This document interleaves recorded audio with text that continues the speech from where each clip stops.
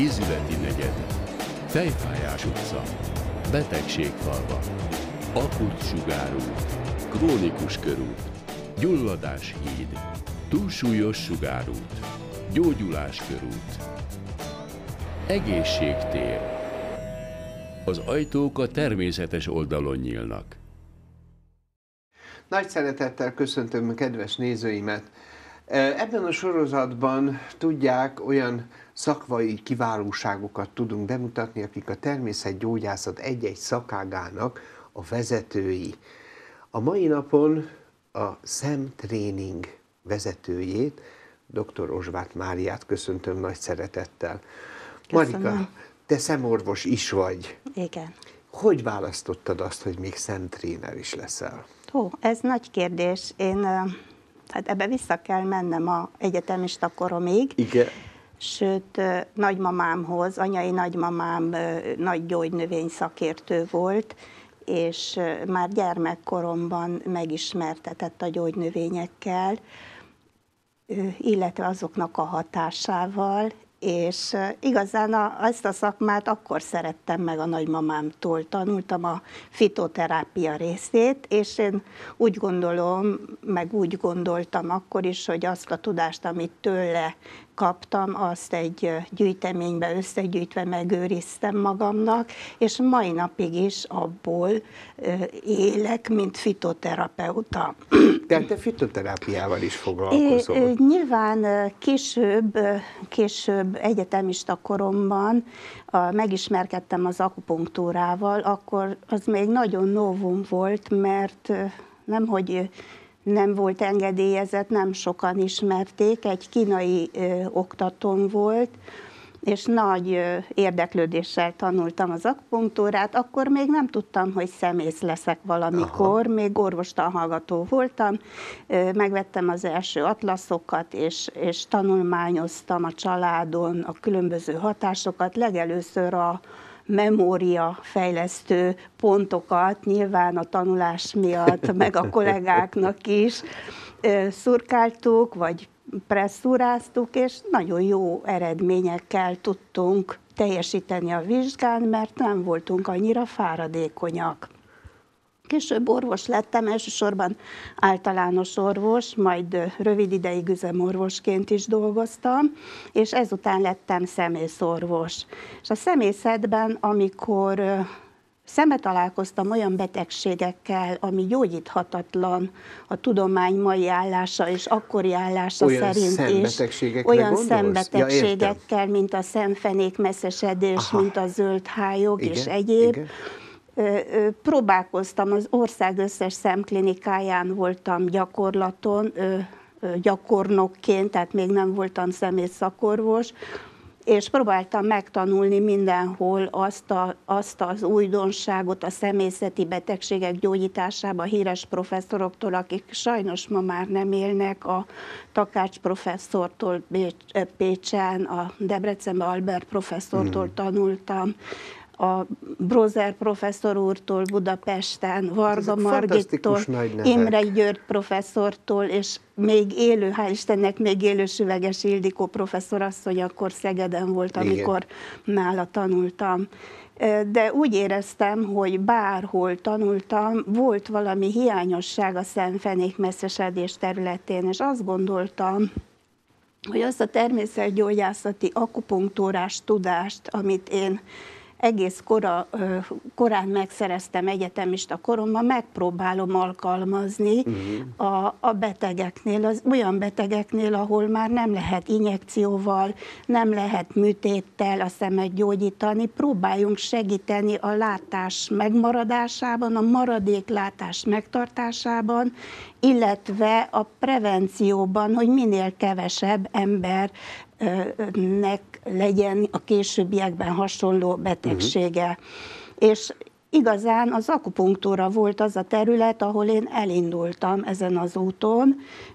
Akkoriban a szemész kongresszusokon akupunktúrás poszterekkel mutattam be az eredményeimet, a neuritis retrobulbaris betegség esetén, illetve a Ezt különböző... azért mondjuk a kedves nézőknek. úgy, Igen, hogy a neuritis legyen. retrobulbaris az egy olyan betegség, ami különböző vegyszerek által a látóidegnek a megbetegedése, a látóideg az ez a része a szemnek, és ennek a megbetegedése. Na most... Én azt kérném, hogy az első képet is nézzük meg, mert itt Marika hoz, igen, ott a látóideg igen, jobb oldalt igen. látható is, és ennek a megbetegedéséről Igen, na most ezt a betegséget nagyon gyakran a dohány, a, a, mint a nikotin, az alkohol, a, az azoknál, akik nagy ivók vagy Igen. alkoholisták, illetve a drogok.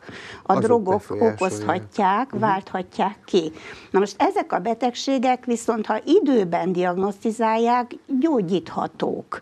Értem. És először ezeknél a betegeknél próbáltam ki a, az akupunktúrának a gyógyító hatását, és egész jó eredményeket tudtunk produkálni a látóélességben, azaz a vízusnak a javulásában. Ez bemutat bemutattam szemész, szemorvosoknak szemész kongresszuson az 1980-as évek Igen. közepén, három egymás utáni évben, később a kancsal gyerekeknek a akupunktúrás kezelését, illetve a szemfenék messzesedésnél a kezelést. Ezt hogy fogadták a kollégák akkor? É, akkoriban érdekes módon ö, Hát még nem volt engedélyezett hivatalosan Igen. ez a dolog. Ettől függetlenül nem nem, nem dicsértek meg, el. nem dicsértek meg sem, de nem is ítélték el a módszert, gondolkodóba estek. És érdekes módon, érdekes módon, hogy engedélyezték azt, hogy a akupunktúrás szemészeti poszteremet elhelyezzem egy szemész kongresszusnak a, posztertermébe, ami akkor óriási nagy dolog volt, sőt, poszter előadást is tarthattam. Tehát én Ez nem mondhatok rosszat a szemész kollégákra, mert hogy én annak is örültem, hogy nem mondták azt, hogy ez butaság. Na később aztán egy véletlen során találkoztam a Koplakov orosz tudósnak az edzéstervével, illetve Krestovnyikovnak a leírásaival, akik azt mondták, hogy a látás javításában óriási szerepe van a vérkeringés javításának, Ugye Tehát kressz... az, amikor a, a szem A szemnek a vérkeringését, hogyha nem csak a szemét, az egész test egész vérkeringését, és van. ezáltal a személy is javul. Igen, igen. Ennek a vérkeringésnek a javításában nagy szerepe van, és akkor ez szem, különböző testtornákkal lehet befolyásolni. Na most ezt, ezt a vonalat vittem én tovább, és akkoriban a 80-as évek végén, 86, 87, 88 20-as években, akkor nagyon gyak, sokat jártuk a művelődési házakat, előadásokat tartottam, bemutattam csoportoknak, rengeteg embert megtanítottam ezekre a tornákra, amit úgy gondolom, hogy prevenció, illetve nem csak úgy gondolom, leírták igen, ezeket igen. A, az elveket, ezek az orosz tudósok, és nagy érdeklődés volt, és rengeteg tanítványom is. De miután ez még a, a, abban az idő időszakban volt, amikor még hitelesen nem volt nem ismerték el a természetgyógyászatot, azért nem álltunk meg. Nyilván voltak negatív vélemények is róla, de én úgy gondoltam, hogy ha megelőzzünk egy betegséget, azzal én már segítek a sokat, betegeknek. Nagyon sokat. Persze. Tehát ez volt a prevenciós része a, a munkámnak, és egy ilyen alkalommal találkoztam össze ö, ö, néhai Vén Péterrel, ö, aki már nincs köztünk. Mm. Ö, elmúlt év decembere óta nagy sajnálattal tudom ezt mondani, mert nagyon sokat tudtunk együtt dolgozni, illetve Cseke Vandával, a Vízus Alapítványnak a, az akkori vezetőjével, akik szintén a prevencióban óriási szerepet játszottak, de más módszerrel. A Igen. Vanda a Schneider módszert képviselte, a Péter a Béc módszert, én pedig ezt a keringésjavítós módszert, és később hárman dolgoztunk együtt az ország különböző területein, szemtréninggel, iskolák, pályázatokat nyertünk, iskolákba mentünk, évelején, évvégén vizsgáltuk a gyerekek látásélességét, évközben a pedagógusokat betanítottuk a tornára, és évvégén megnéztük az eredményeket a rendszeres napi szintű to, egyszerű kis tornácskákkal, és egész jó eredményeket találtunk, amit közleményekben is leírtunk. Akkor ez egy, még. Ez egy nagyon fontos dolog És lenne. a negyedik pontunk a őri ajándokkal való találkozás Igen. volt, amikor ajándok ugye leírta a kínai masszázsnak a, a, a látásra ható jótékony hatását, és Mármint ő is... a kínai szemmasszázs. A kínai szemmasszázsnak így, így van, és, és akkor így lett ebből a négy különböző módszerből egy magyar szemtréning eljárások módszer, ami tulajdonképpen négy embernek a négy különböző iskolát képviselve alakult ki és 1997-ben, akkor ugye, amikor a természetgyógyász Igen. törvény létrejött, akkor a, a szemtréning módszert, mint szemtréning eljárásokat bevették a természetgyógyászati szakágak területébe, és attól kezdve hivatalosan is oktatjuk, vizsgáznak hallgatók, és bízom benne, hogy ugyanezt a, ha nem is ugyanezt a göröngyös utat járják, amit mi jártunk, de, de ezt az utat járják, folytatják, hiszen óriási szerepe van a prevencióban, a, a látás megőrzésben, a szemtréningnek. A prevenció az egy fantasztikus dolog, mert a te véleményedet annyira magaménak érzem, oh, hogyha valaki elindul, és ezeket a szemtréner módszereket használja, akkor a szem működésében az egy fantasztikus nagy lépés, ha már nem romlik tovább. Így van, így van. Ha, na és most ha, ez a rehabilitációs adnak, rész. És igen. ezt nem tudom, tudják-e a kedves nézők, ha szemüveget adnak, ahhoz fog alkalmazkodni a szem, és megint csak romlani fog. Tehát egy folyamatos romlási periódus tud így előidézni az Igen. ember. Ha meg ezeket a gyakorlatokat csinálják, akkor ez megelőzhető. Meg lehet akadályozni a továbbromlást. Itt azért javítanálak ki, mert nagyon sok félreértés van a Dobd el a szemüveget című könyvvel nem kapcsolatosan, szó, és nem erről beszélünk. Nem, nem. Szemüveget nem lehet eldobni, a szemüveg megmarad, de nem mindegy, hogy évente fél dioptriával, vagy Pontosan. egész dioptriával erősebbet kapunk, vagy megmarad a régi dioptriánk, esetleg, esetleg csökken a dioptria. Azért mondom, hogy esetleg, mert a szemnek az alkalmaz alkalmazkodó képessége, plusz-minusz három dioptria. Tehát ennél többet nem lehet javítani, de képzeljék el, hogy akinek van mínusz 8 dioptriája, és Ajaj. visszacsökken mínusz 5-re, az neki nagyon nagy segítség. Hogyne. És, és Sőt, erről, előrelépés. És előrelépés, erről sokat lehetne beszélni. A második nagy terület a a rehabilitációja a szemnek. Igen. Ugye beszéltem az elején arról, hogy a a föld lakosságának a 80%-át érinti a szemfenék messzesedés, ez táplálkozás és életmód beli rendellenesség. Rende, hát ha nem is rendellenesség, de ennek következtében alakult ki nagy feltételezéssel. Igazán nem lehet tudni még a tudomány mai állása szerint, hogy mi okozza. Feltételezik a tudósok, hogy a magas vérnyomás, a vér koleszterin szint emelkedés, vércukorszint ingadozás, illetve a pajzsmirigy betegségek egy része Igen. is okozhat hasonló elváltozást és ezért kezelhetetlen kategória. Most itt a a rehabilitációnál ugye azon embertársaink, akik elveszítik a látásukat, vagy csökken a látásuk és a munkaképességük is, ez egy borzasztó nagy lelki trauma egy embernek, és azon van az egész világ szemész társasága, és az egész világ szemtréner és természetgyógyász szemtréner társasága is, hogy ezen súlyos betegségeket megállítsuk, vagy legalább fékezzük. Na most ennek érdekében kidolgoztam egy olyan akpunktúrás technikát, amit nem tudom, hogy hol vagy hol nem más helyen csinálnak-e.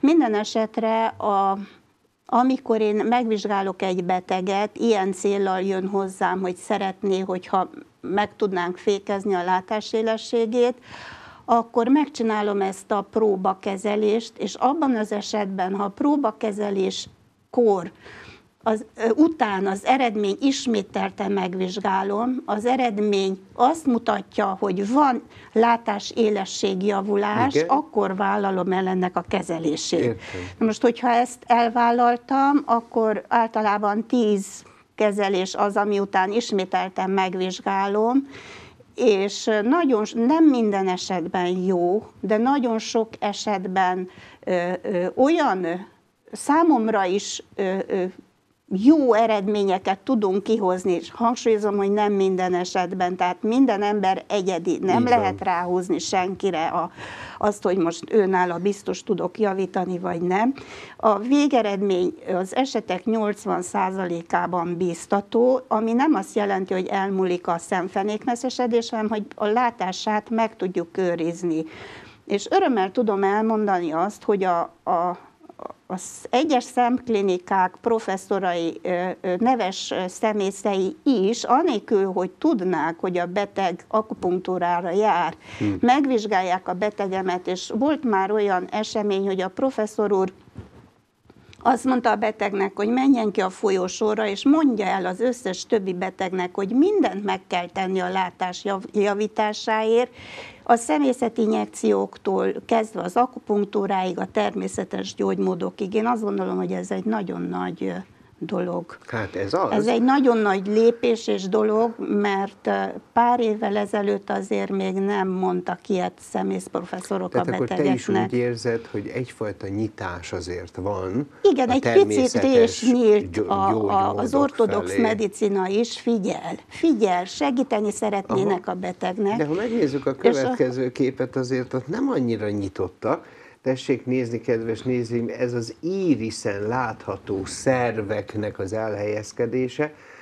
És hát én úgy tudom a Marikától, hogy az íris diagnosztika, mint olyan, nagyon erős köd és iszonyú ellenállás még igen, a szemorvosok igen, részéről. ez így van, és én valahol azt mondom, hogy igazuk van a szemészeknek, mert ők ezt nem tudják. Ja, de csak és azért, amit nem, nem tudnak tudják. az emberek, arról azt mondják, hogy ez így van. A másik dolog meg azért van igazuk, mert hogy az iris az tulajdonképpen a szöveti szerkezete, a vérellátása és a beidegzése révén az egész szervezetből információt hoz a Igen. szemre. Azaz egy reflex terület, pont olyan, mint a talpreflexológia, a, a, a tenyér reflexológia, fül, arc, diagnózis, egyéb és gyakorlatilag minden egyes szervünknek a működését, az energetikai állapotának a szintjét tudjuk megnézni Igen. az iriszen. Na most egy szemtrénernek nagyon fontos, hogy azt lássa a betegen, hogy honnan indul el, milyen hiteles kezelést tud adni neki úgy, megvizsgálva a beteget, hogy nem vetközteti le, hogy végignézze az összes meridián, mert volt ilyen gyakorlati tapasztalatom kezdetben, én is úgy gondoltam, hogy átnézem a, a, a meridiánjait, a talpát, egyéb, Igen. de az emberek, amikor szemészhez vagy szemtrénerhez mennek, nem szeretnek levetközni, meg cipőt levenni. Pontosan. És ezért vontuk be a szemtréning eljárásokba az iris diagnosztikát. Igazándiból optikai reflexológia neve, mert a természetgyógyász nem diagnosztizálhat. Az szemorvos, az iris nem használja fel diagnosztikai mhm. céllal, uh-huh. csak különböző megbetegedések es- esetén uh, nyilván diagnosztizál, az az ő dolga. Mi állapotot mérünk föl, energetikai állapotot, mert nekünk a nagy energia tömegbe, a szemhez kell eljuttatni azt az energiát, amivel meg tudjuk erősíteni a látás élességét a betegnek. Így És van. ezért van szükségünk az optikai reflexológiára, úgynevezett iris diagnosztikára. Sok mindennel én sem értek egyet az iris diagnosztikában, meg kell mondanom. Nagyon sokféle elmélet van, nagyon sokféle uh, térkép van. Mi általában az, az általam elnevezett bugyuta térképet tanuljuk, ami pontosan elég ahhoz, hogy az energetikát fölmérje az ember a, a, a betegén. Az állapotát. Az áll, energetikai állapotát, és nem a szervek diagnosztikai állapotát nézzük. Ezt azért kell hangsúlyozni, mert itt van a konfliktus helyzet, és ez jogos is, mert, mert, mert, mert azért ez vitatható, hogy hogy diagnosztizálunk a szemben. Állapotot mérünk föl, ez a lényeg. És maga a szem és írisze, az három hónaponta megújul. kódolja. Tehát Igen. bent lévő folyamatokról Pontosan, mert információt amint ad. mondtam, a szemnek a vérellátása rendkívül jó, és az irishez is eljut a méreganyag, vagy a méreganyag kihordás, ami blokkolja a szemnek a működését. Így van. Így van. Ezt szoktam mondani, hogy a szem a lélek tükre és a test ablaka. Ez eh, egy olyan mondásom, ami szerint eh, úgy gondolom, hogy a lélek tükre, mert minden lelki folyamat a szemünkön megnyilvánul, illetve a test ablaka, mert az iriszen keresztül az összes szervünknek látjuk az energetikai működését, de szemorvosként is a test ablaka, mert ha benézek a szemfenékre, élőben látom a vérkeringését az embernek Hm. és az idegrendszerének a működését. Hát És ezt ez egy- gyönyörűen mondtad már.